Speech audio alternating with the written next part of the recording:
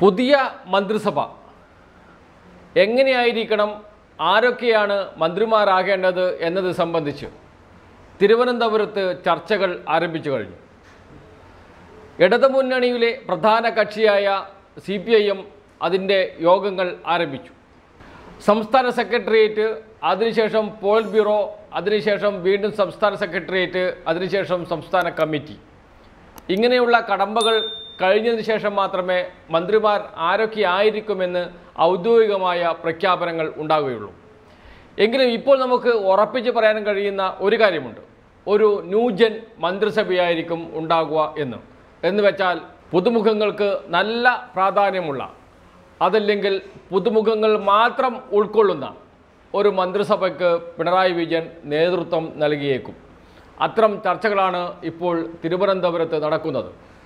ഇത്തരം ചർച്ചകൾക്ക് മുന്നോടിയായി സി പി ഐ എമ്മിന്റെ കേരളത്തിലെ പോൾ ബ്യൂറോ അംഗങ്ങളായ Pinarayi Vijayan Kodiyeri Balakrishnan M A Baby S Ramachandran Pillai എന്നിവർ തലസ്ഥാനത്ത് കഴിഞ്ഞ ദിവസം യോഗം ചേർന്ന് ഒരു പ്രാഥമിക ചർച്ച നടത്തിയിരുന്നു.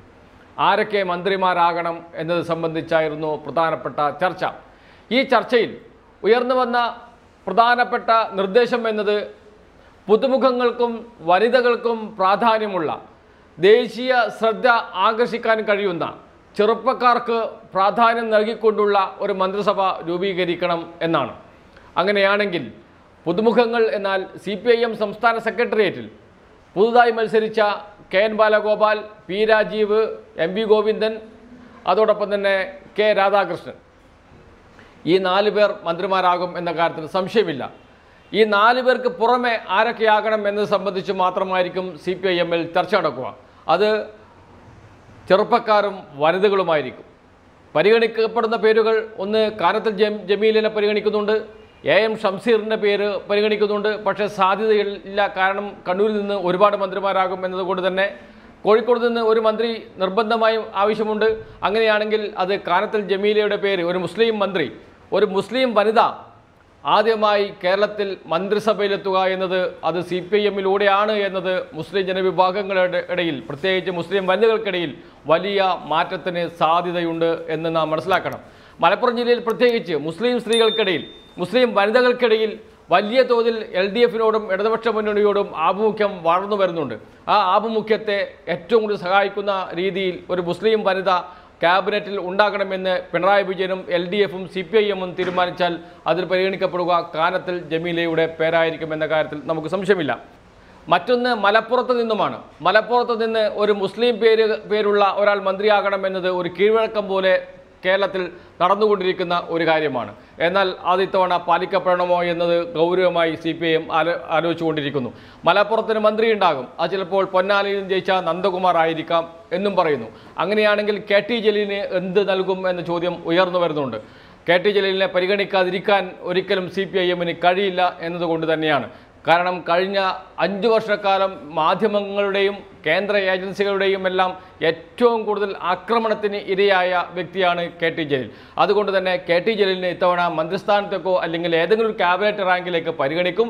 അങ്ങനെയാണെങ്കിൽ കെ ടി ജലീൽ ഒന്നുകിൽ മന്ത്രിസ്ഥാനത്തേക്ക് വന്നേക്കാം ഒരു ഇളവ് കെ ടി ജലീലിന് കൊടുത്തേക്കാം അതല്ലെങ്കിൽ അദ്ദേഹം സ്പീക്കറാകുമെന്ന സൂചനകളാണ് ഇപ്പോൾ പുറത്തു വന്നുകൊണ്ടിരിക്കുന്നത്.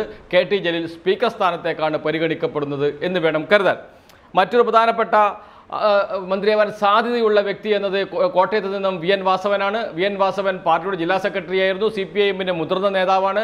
അതുകൊണ്ട് വി എൻ വാസവന് നല്ല സാധ്യത കോട്ടയത്തു നിന്നും പറഞ്ഞു കേൾക്കുന്നുണ്ട്. സി പി ഐ എം അത് ഗൗരവത്തോടെ പരിഗണിക്കുന്നുണ്ട് എന്നാണ് മനസ്സിലാക്കുന്നത്.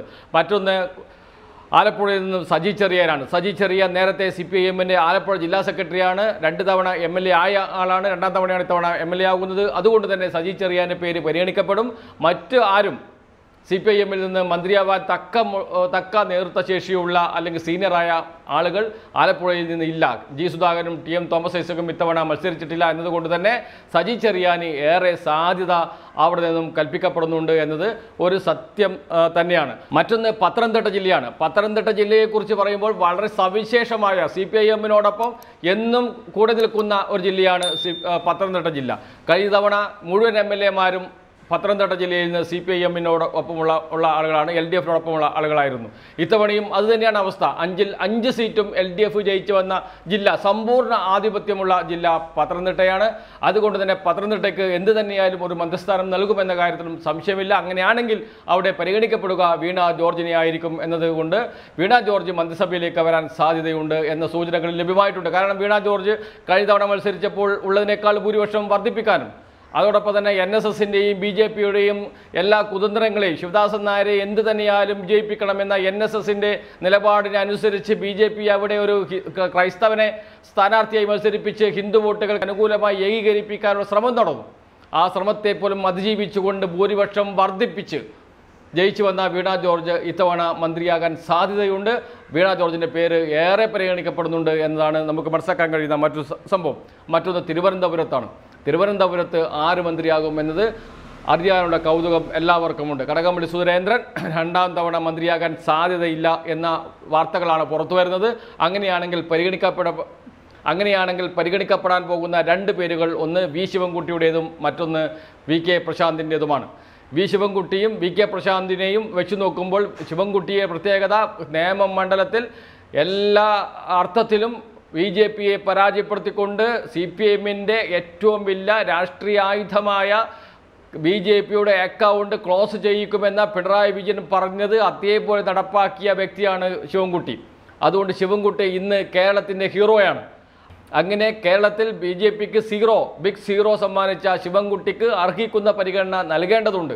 അതുകൊണ്ട് തന്നെ ശിവൻകുട്ടിയുടെ പേര് പരിഗണി പരിഗണിക്കപ്പെടാനാണ് സാധ്യത എന്നാണ് ലഭിക്കുന്ന വിവരം. പക്ഷേ വി കെ പ്രശാന്തിന്റെ പേരും പരിഗണനയിലുണ്ട് എന്നതാണ് വസ്തുത. കാരണം വി കെ പ്രശാന്ത് മേയർ എന്ന നിലയിൽ നല്ല പ്രവർത്തനം കാഴ്ചവെച്ച ആളാണ്.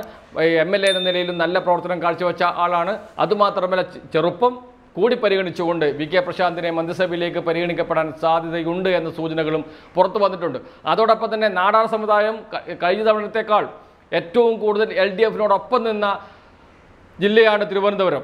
ഇത്തവണ നാടാർ സമുദായം എൽ ഡി എഫിനോടൊപ്പം നിന്ന് എൽ ഡി എഫ് സ്ഥാനാർത്ഥികളെ വിജയിപ്പിക്കാൻ നല്ല സംഭാവന നൽകിയ ജില്ലകളിൽ ഒന്നാണ് തിരുവനന്തപുരം. തിരുവനന്തപുരം മാത്രമല്ല നാടാർ സമുദായം തീരദേശങ്ങളെല്ലാം എൽ ഡി എഫിനോടൊപ്പമാണ് ഇത്തവണ നിന്നത് എന്നതാണ് തെരഞ്ഞെടുപ്പ് ഫലങ്ങൾ നിരീക്ഷിക്കുന്ന ആർക്കും മനസ്സിലാകുന്നത്. അതുകൊണ്ട് നാടാർ സമുദായത്തിന് വേണ്ടി ചിലപ്പോൾ ജി സ്റ്റീഫന്റെ പേര് പരിഗണിക്കപ്പെട്ടുകൂടായികയില്ല എന്നും പറയുന്നുണ്ട്. അരുവിക്കരയിൽ ശബരിനാഥിനെ നിലംപരിശാക്കി മുപ്പത് വർഷത്തിന് ശേഷം മണ്ഡലം തിരിച്ചു പിടിച്ച ജി സ്റ്റീഫനെ മന്ത്രിയാക്കണമെന്ന ആവശ്യവും ഉയർന്നു വരുന്നുണ്ട്. അക്കാര്യവും പരിഗണനയിലുണ്ട്. അത് ഏത് രൂപത്തിൽ പരിഗണിക്കപ്പെടും എന്നറിയില്ല. എങ്കിലും തിരുവനന്തപുരത്ത് ആര് മന്ത്രിയാകുമെന്നത് വളരെയധികം നീണ്ട ചർച്ചകൾക്ക് ഒടുവിലായിരിക്കും തീരുമാനമെടുക്കുക എന്ന കാര്യത്തിൽ സംശയമില്ല. മറ്റൊന്ന് കൊല്ലം ജില്ലയാണ്. കൊല്ലം ജില്ലയിൽ കെ ബാലഗോപാൽ മന്ത്രിയാകും എന്നതുകൊണ്ട് അവിടെ മറ്റു മന്ത്രിമാരുണ്ടാകാൻ സാധ്യതയില്ല എന്നാണ് മനസ്സിലാകുന്നത്. എറണാകുളം ജില്ലയിൽ പി രാജീവ് ഏതാനും മന്ത്രിയാകും. തൃശ്ശൂരിൽ കെ രാധാകൃഷ്ണൻ മന്ത്രിയാകും. അതുകൊണ്ട് തന്നെ എല്ലാ ജില്ലകൾക്കും പ്രാധാന്യം കൊടുത്തുകൊണ്ടുള്ള ഒരു മന്ത്രിസഭയായി ആയിരിക്കും രൂപീകരിക്കുക എന്ന കാര്യത്തിൽ സംശയമില്ല.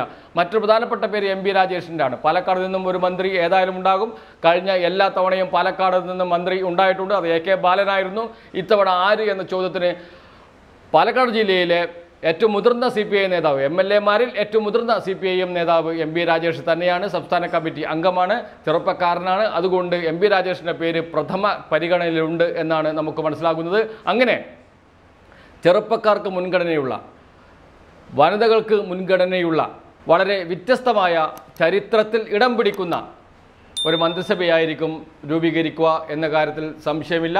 അതിനുള്ള നീക്കങ്ങളാണ് ഇപ്പോൾ തിരുവനന്തപുരത്ത് നടന്നുകൊണ്ടിരിക്കുന്നത്.